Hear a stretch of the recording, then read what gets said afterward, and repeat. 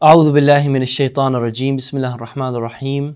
الحمد لله رب العالمين وأفضل الصلوات وأتم التسليم على سيدنا ونبينا وحبيب قلوبنا وطبيب نفوسنا أبي القاسم محمد وعلى آله الطيبين الطاهرين المعصومين الذين أذهب الله عنهم الرجس وطهرهم تطهيرا.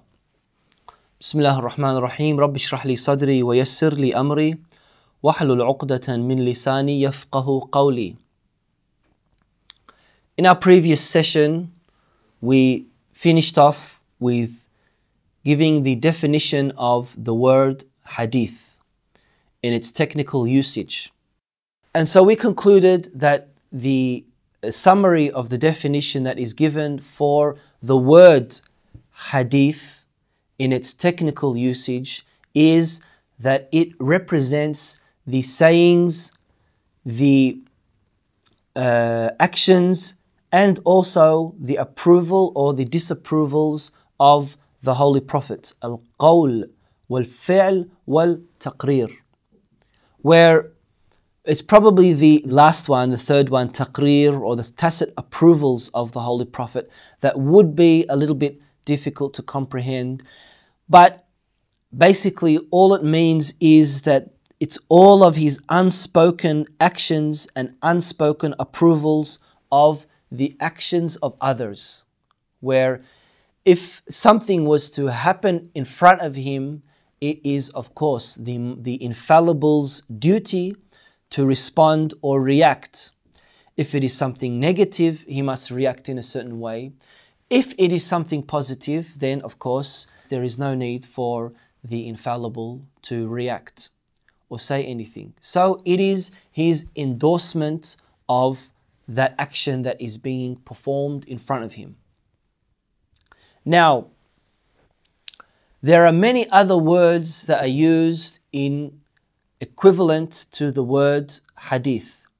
Of course, some of them more or less do have different definitions, but we can keep it with the summarizing of the dif- different definitions that are given to these words and say that all of them, one way or another, do point towards the same meaning of hadith. Like, for example, we have among the different words that are given as a synonym, if we could say, for the word hadith, is sunnah.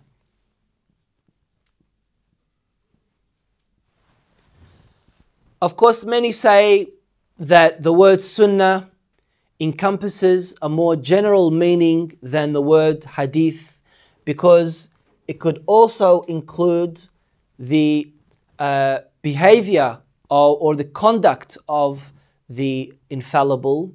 However, referring back to the textbooks that are written on the science of hadith, we can conclude that it does carry more or less the same meaning of the word hadith. And in many times it is used in place of the word hadith. Another word that is used is the word riwayah.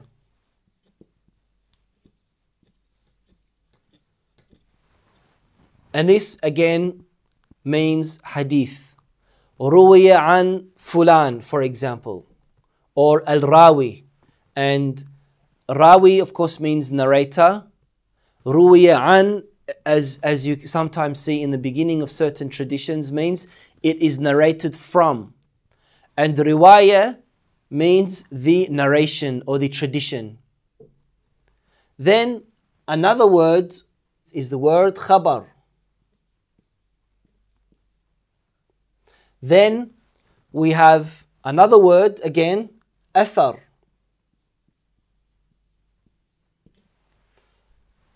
And again, these two, along with riwayah and along with sunnah, also come to mean the same word as hadith. And this is, you must have heard of this before in when you when you've read books or when you've heard certain lectures, and that is hadith Qudsi.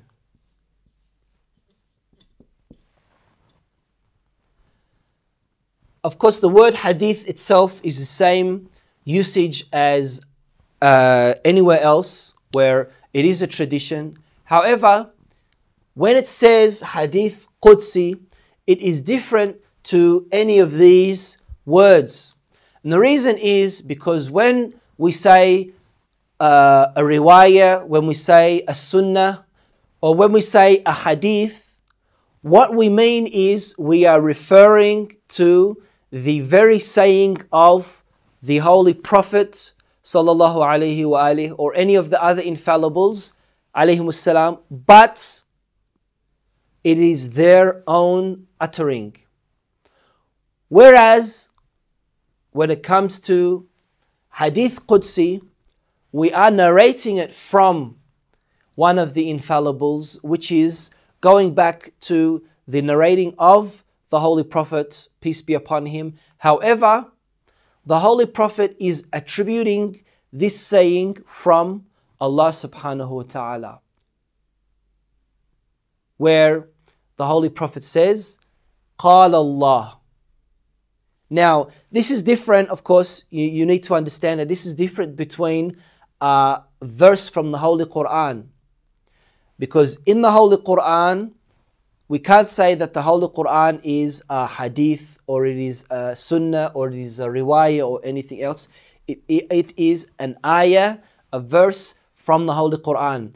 And of course, it is a saying from Allah subhanahu wa ta'ala.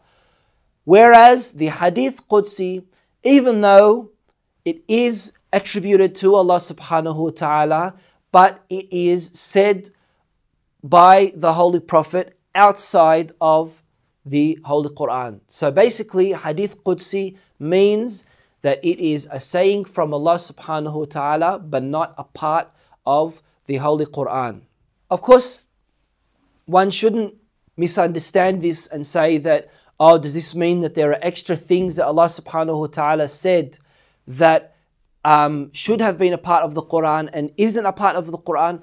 Absolutely not. Hadith Qudsi is only something that Allah subhanahu wa ta'ala revealed or inspired to the Holy Prophet where the Holy Prophet, with his absolute knowledge of the Holy Quran and the completion of the Holy Quran, of course, in, in, the, in our belief, the saying that the Holy Prophet is uh, quoting from Allah subhanahu wa ta'ala is something that had that was inspired to him, but is not a part of any surah or verse of the Holy Quran. And this is why we call it Hadith Qudsi.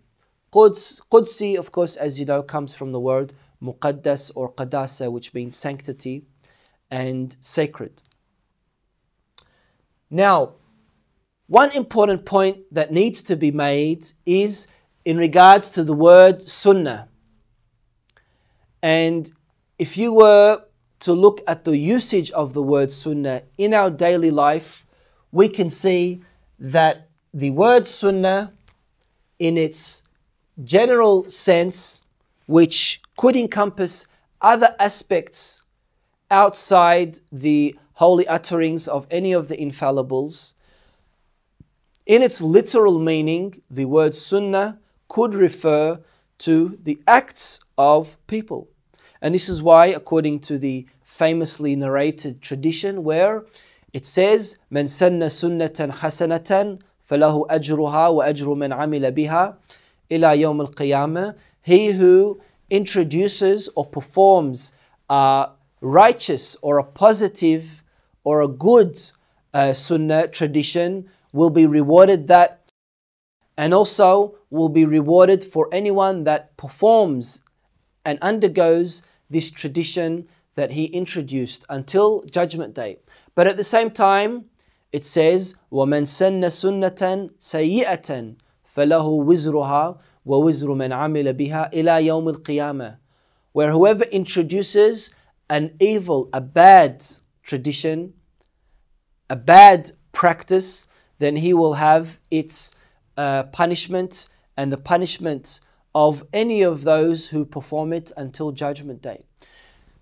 Looking at the word sunnah here, where there is positive sunnah and negative sunnah, and sometimes the negative sunnah could also mean bid'ah or innovation. We are not using that usage the same way as we are using it here in the science of hadith. When we refer to the word sunnah, we are referring to the word sunnah in the technical sense that exists within ilm al hadith, the science of hadith. It is also not referring to any other meaning that the word sunnah could carry. So, this is an important point for you to, to keep in mind. And of course, um, inshallah, with your further studies on this subject, you will also be able to uh, find out that there might be some slight, um, very delicate uh, distinguishing differences between um, the five different words that are used uh, in this science for the same meaning, and also the different views that different ulama have when it comes to the def defining of these words and also their usage for it. And this is where we come to the importance of learning the validity of the Sunnah of the Holy Prophet and the other infallibles, which of course we will be discussing in our next session. And thank you very much. Walhamdulillahi Rabbil Alameen.